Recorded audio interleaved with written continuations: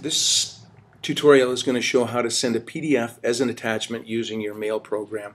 I've written the instructions for this and I'm going to send it off to Chris. Uh, first I'd like to send a picture to him uh, as, uh, as part of this PDF. So I'm going to uh, go up here to my plus button to add a picture. And one of the things you'll see is that I can choose my camera roll and uh, choose a picture here. So I'll do that. And I'll select this picture down here, my last photo, and I can size it to something that's more reasonable, move it around. So once that's in my, my PDF, I'm ready to, to send it off. And in order to do that, I now go up to the wrench and select the wrench, share and print, share and print, and then send it as an email document.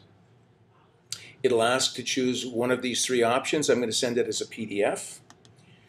And my mail program opens up. I'll go to the address. If I've got this person in my contacts and I type in the first three letters of the name, I'll send it to Chris and give it a subject. I always choose or forget to put in the subject, so this will be email.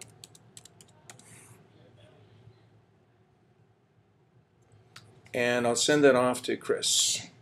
And we'll do the second part in another tutorial. And that's it.